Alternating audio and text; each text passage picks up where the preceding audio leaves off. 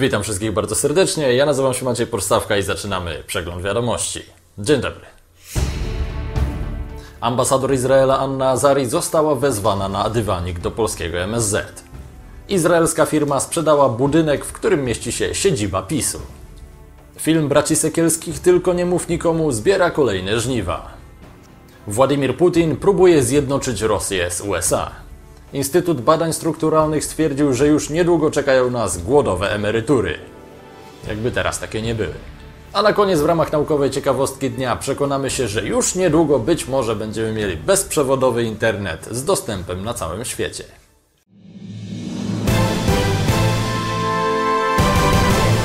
I zanim zaczniemy, bardzo serdecznie dziękuję wszystkim patronom za to, że wsparliście nas w naszej sprawie. Dzięki temu mogliśmy sobie pozwolić na to, by wyruszyć w Polskę i porozmawiać z widzami, którzy zostali nieuczciwie potraktowani przez wymiar sprawiedliwości i już niebawem pojawią się produkcje właśnie z tym związane. Jeśli chcesz nas wesprzeć w naszym działaniu, to koniecznie zajrzyj do opisu, tam masz wszystkie szczegóły. Dziękuję raz jeszcze i zaczynamy pierwszy temat.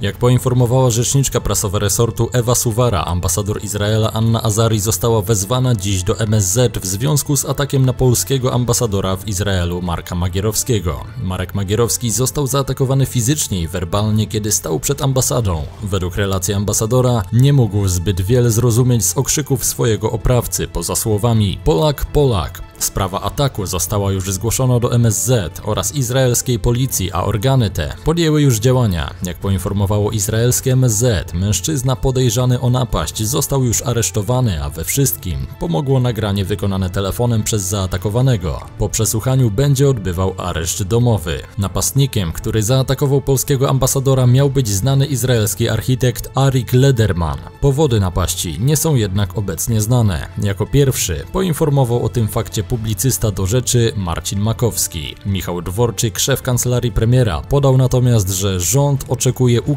sprawców ataku na ambasadora Polski w Izraelu Marka Magierowskiego. Do MSZ została wezwana już ambasador Izraela Anna Azari. Do sprawy zdążył się już odnieść w języku angielskim polski premier Mateusz Morawiecki. Jestem bardzo zmartwiony informacjami o rasistowskim ataku na ambasadora RP w Izraelu. Polska mocno potępia ten ksenofobiczny akt agresji. Przemoc wobec dyplomatów lub każdego innego obywatela nigdy nie powinna być tolerowana, napisał na Twitterze. W wywiadzie udzielonym telewizji TVP Info Paweł Mucha, wiceszef kancelarii premiera, stwierdził, że niedopuszczalna jest jakakolwiek agresja słowna, a już na pewno niedopuszczalna jest jakakolwiek fizyczna ingerencja czy naruszenie nietykalności cielesnej dyplomaty. Wobec każdego jest tak, że niedopuszczalne są takie czyny, ale w szczególności jeżeli mówimy o osobie, która jest oficjalnie umocowana jako przedstawiciel państwa polskiego na terenie innego państwa, to nie ulega żadnej wątpliwości, że to jest niedopuszczalna rzecz.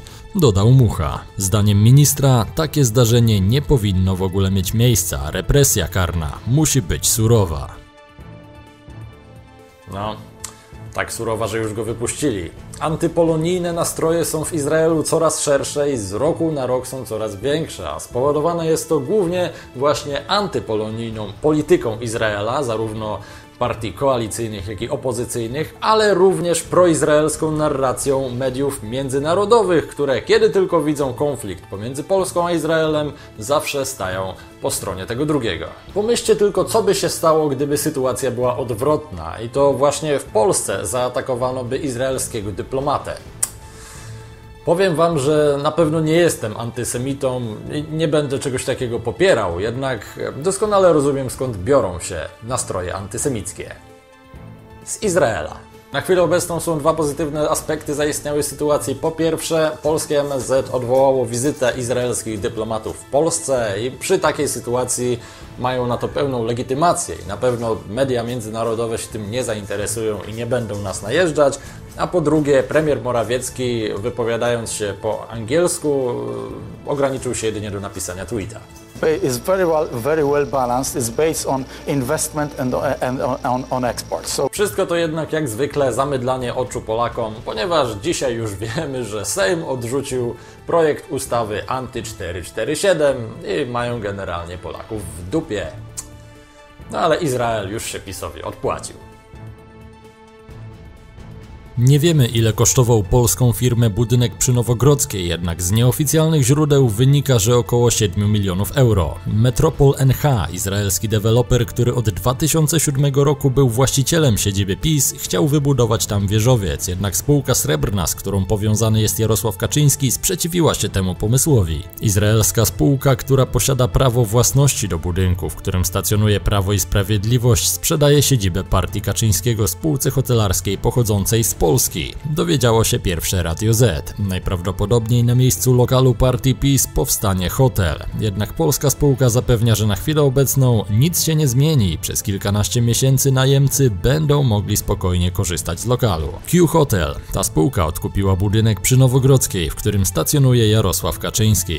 Firma hotelarska posiada jeszcze pięć takich hoteli w kraju. Polska spółka wystosowała list i uspokaja w nim wszystkich najemców. Jak tłumaczą, żadne kroki nie będą podejmowane natychmiastowo. Proces realizacji inwestycji potrwa jeszcze nawet kilka lat. Wszyscy najemcy budynku mogą spokojnie spać, ponieważ na tym etapie nic się dla nich nie zmieni. Jeżeli jakiekolwiek zmiany będą miały nadejść, każdy zostanie o tym poinformowany odpowiednio wcześniej.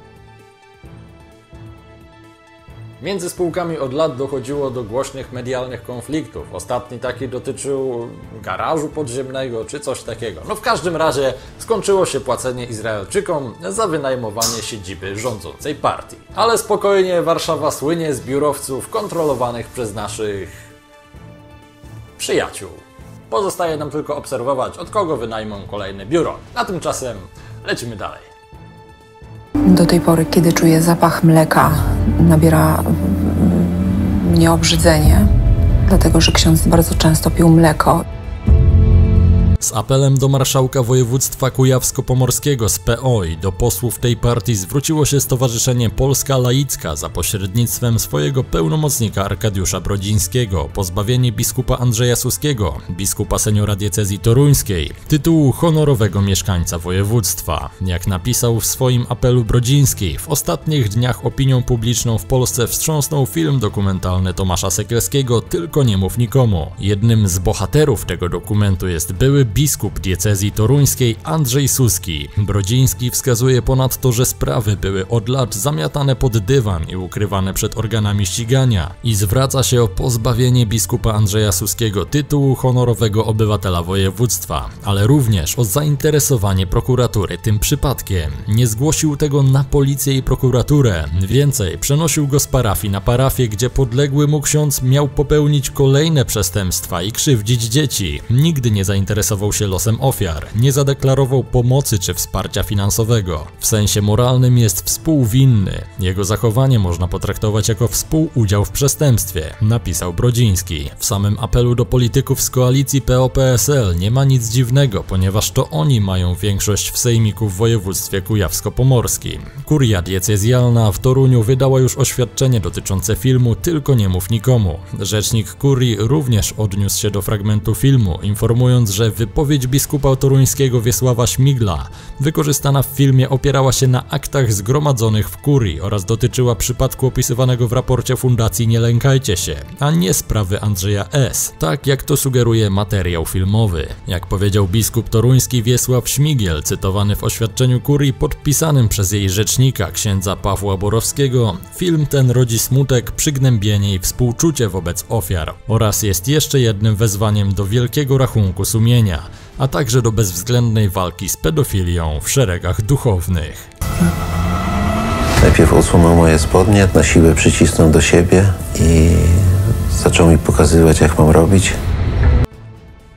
Według autorów apelu chodzi przede wszystkim o odpowiedzialność moralną biskupa, który ukrywał bestialskie zachowania księży. Ignorancja, czy jednak współodpowiedzialność? Dajcie znać w tej ankiecie, a jeśli chcecie mojego pełnego, grubego komentarza w związku z filmem Sekielskich, no to koniecznie sprawdźcie mój wczorajszy film. Tutaj też macie do niego link. Tylko uważajcie, bo materiał jest naprawdę bardzo mocny. A tymczasem ruszamy do kolejnego tematu.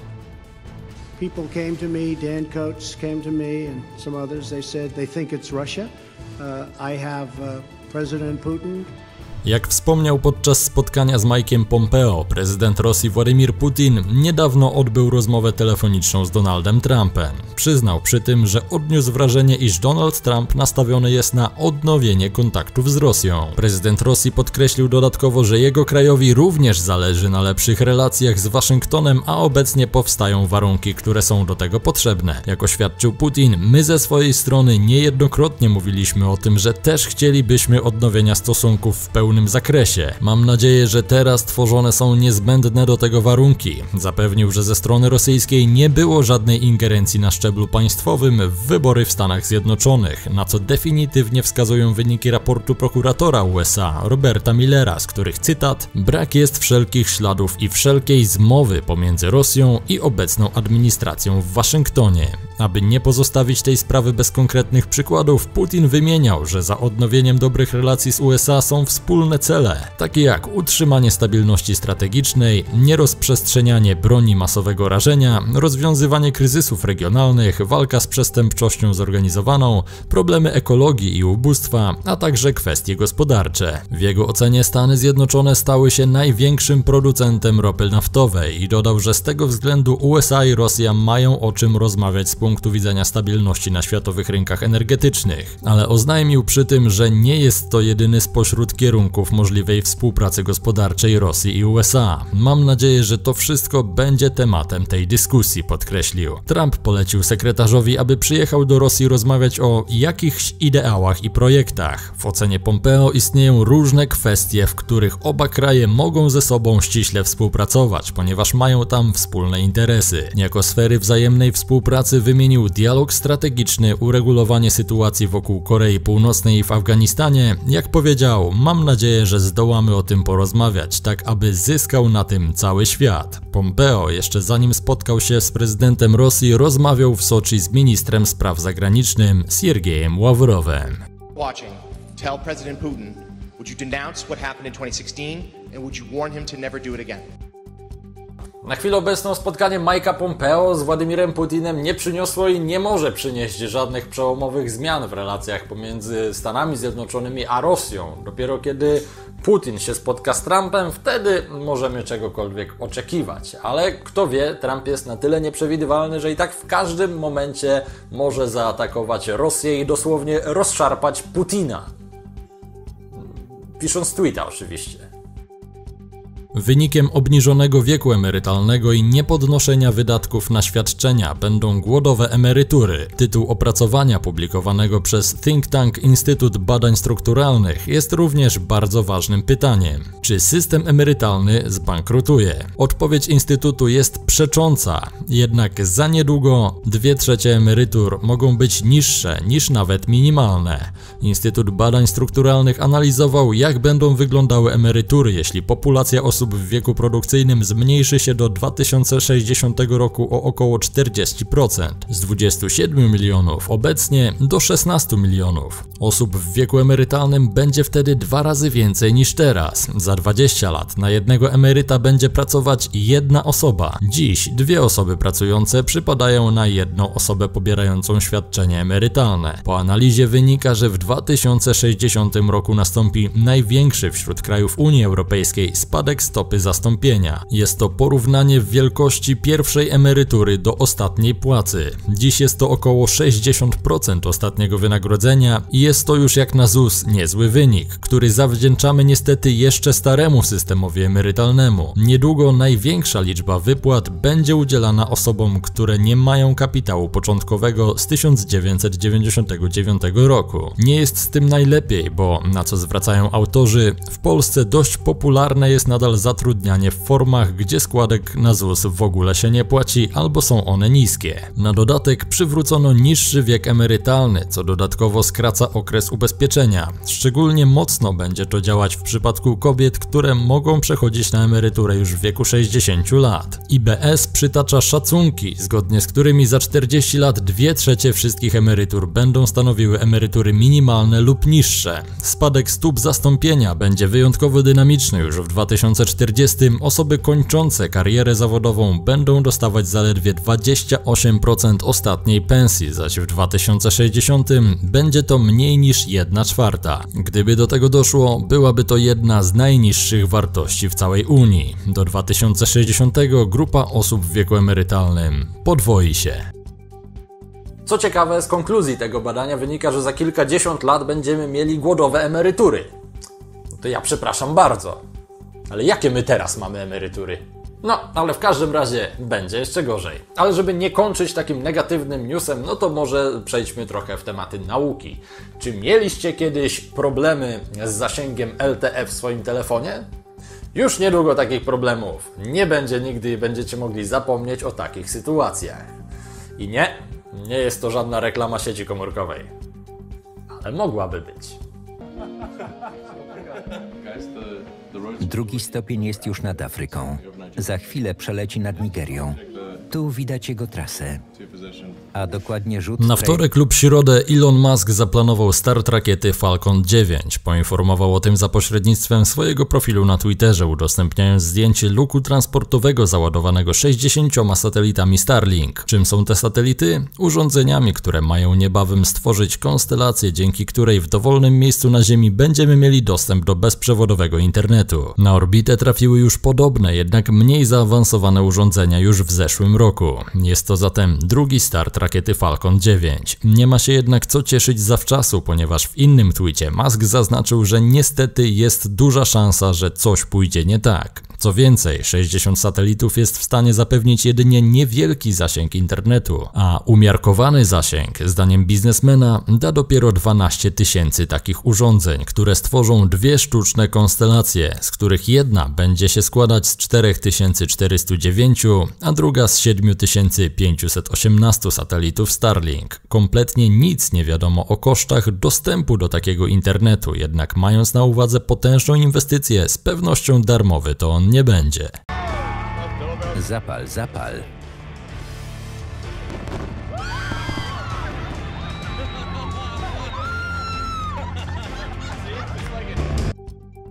Najgorsze w tym całym projekcie jest to, i z jaką szybkością rozwija się dzisiaj technologia, bo być może za te kilka, kilkanaście czy kilkadziesiąt lat, jak już wypuszczą te wszystkie 12 tysięcy satelitów, które chcą wypuścić, internet y, już się tak drastycznie zmieni, że nie będziemy go potrzebować w takiej formie, w jakiej jest teraz. A być może w ogóle już nie będziemy korzystać z internetu i to będzie jakaś tam przeszłość, odejdzie w zapomnienie, tak jak teraz, nie wiem, no.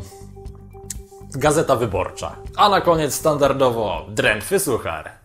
Chociaż może dzisiaj suchara sobie odpuścimy i przytoczę Wam fragment komentarza, jaki dostałem pod wczorajszym filmem dotyczącym afery kościelnej. Słuchajcie tego.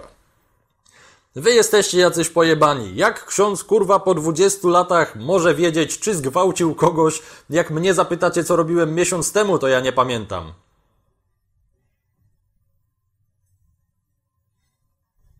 No prawda, no.